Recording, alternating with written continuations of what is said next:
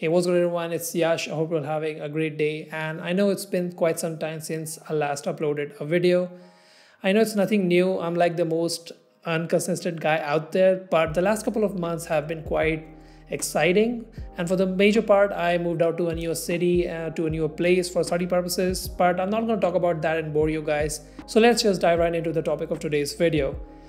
Now for today's video, I didn't plan out anything specific as I just wanted to create something quick and upload it to get the gears running. And while I was thinking what should I make, I thought why not product photography.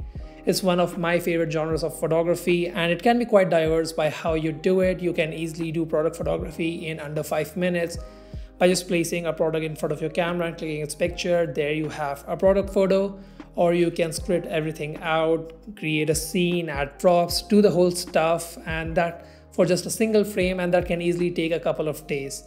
In the end, it just boils down to how much information you want to show in just a single frame, and that can be quite an intriguing task to do. Now, for today's video, I'm not gonna create a scene and add props and stuff. I just want to keep things nice and simple so that anyone can follow along using just uh, their camera and a single light source and anything else that i'm going to be using would be things that you can probably find in your home or if not will be on the cheaper side to get. So the first thing that you'll definitely need to do product photography is to have a nice neutral colored background. And for that i'm just using a piece of white chart paper as it is very easy to get it's super cheap and it works just nice as a neutral colored background. Now with that said let's do some product photography Okay, so here's the setup that I'm working with. It's pretty simple with just a single light source for the entire scene. And there's the chart paper that I'm using as the background. I just taped it on a piece of foam to give it a bit more stability. Now for the products, I'm going to be covering three in this video. The first one is this Indian tonic water from Schweppes. I thought it looked pretty clean with that nice mustardy yellow color.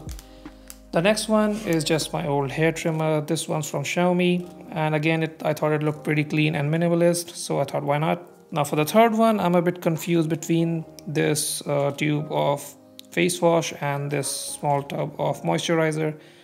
I think I'm leaning more towards the moisturizer because it has a nicer color palette. You know what? Yeah, I'm gonna use this moisturizer as my third product. So again, here's the scene.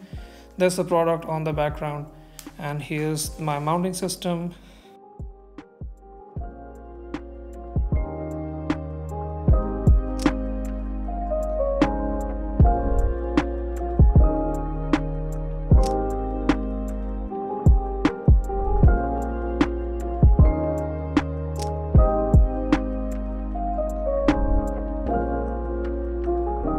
Okay, so while I was photographing the moisturizer tube, I noticed that the opposite side of it was getting a bit too dark. Since I'm using just a single light source to light up everything, there wasn't much going around to lift up those shadows and that did not look right. So I thought I should just use my small light to add a bit more fill and lift up and lift those shadows up. But then I remembered that I had to do everything with just a single light source.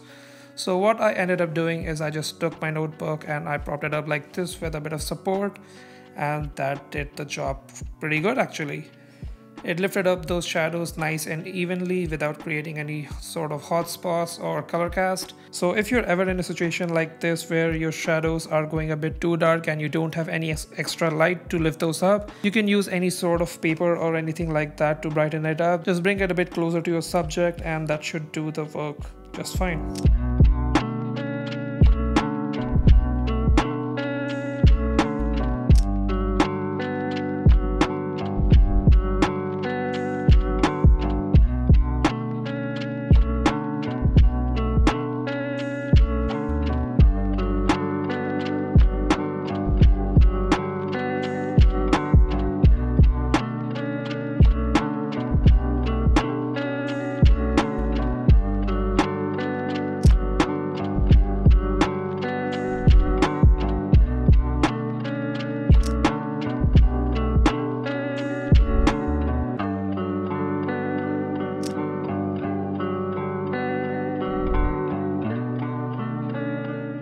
Now after clicking the photos, all that's left to do is to bring them in the editing software to finish them up. Now, when it comes to editing, I didn't do much besides masking out the product to change the background. And if you guys want to know how I created this type of seamless background, I actually followed a tutorial by Piximperfect if I'm not wrong. I'll link it up in the description so you guys can check it out and know in much more detail how to create these types of seamless background for your product photos. And one thing I'll add is that if you can, try to get the proper backdrop for your scene right in camera rather than delaying it on for post because that will give you the best looking results and make the whole workflow a lot more easier to do.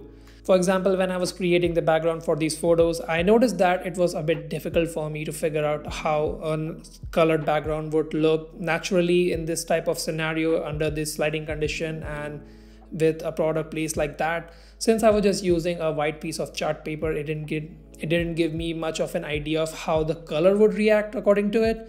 So what I ended up doing is to find more references and Google more product photos to see of how a colored background would look in this type of situation. And that made the process of creating a seamless background a bit more difficult, I guess. So I'll say that again, if you can get the perfect backdrop according to your scene in camera rather than relying on post, because that will look the best and it will make the process a whole lot more easier to do. Now, besides masking the product, I also cleaned it up a bit. And what I mean by that is I used the spot healing brush tool in Photoshop and removed any sort of scratches or nicks or clean any dust that I could see to make the product look more clean and fresh. And besides that, I also tweaked around with the exposure value of some photos, you know, adding more contrast and adding more saturation, just making the product pop out a bit more.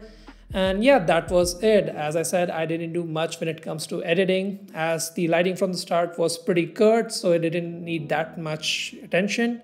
In the end, I think the photos turned out pretty good. They could have turned out a bit better if I had used more lights, added some props, uh, you know, just give more time to each photo and scene in general. But since the topic of today's video was to do quick and simple product photography, in that regard, I think the photos turned out pretty good let me know what you guys think about it. And yeah that's it for today's video i guess. I hope you guys enjoyed it and i'll see you guys in the next one